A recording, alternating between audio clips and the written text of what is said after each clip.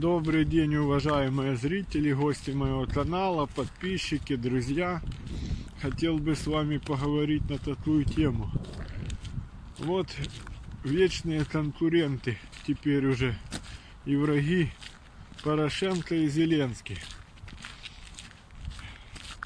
Я хотел бы их сравнить в необычном ракурсе. В ракурсе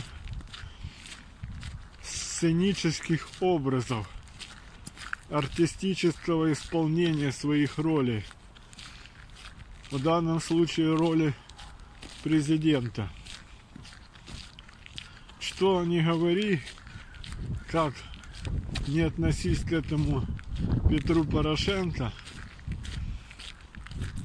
надо отдать должное, что в сценическом образе в игре актера президента Петр Порошенко играет лучше, играл вернее лучше свою роль президента Украины, чем сейчас играет ее Зеленский.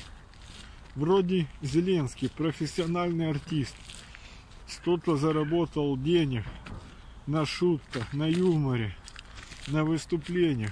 Самой, самой юности выступал на сценах, не должен бояться выступления широ, перед широкой публикой.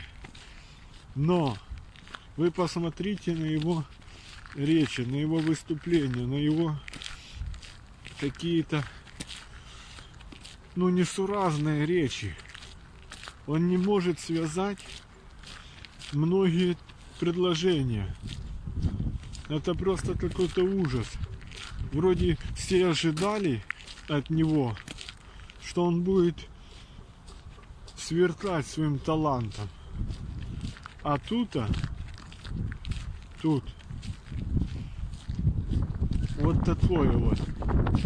Ну, ни, ни рыба, ни мясо. Ни рыба, ни мясо. Реально. Все, все перевернулось. Это ужас просто. Даже у меня нет слов, как это выглядит. Взять этого Порошенко.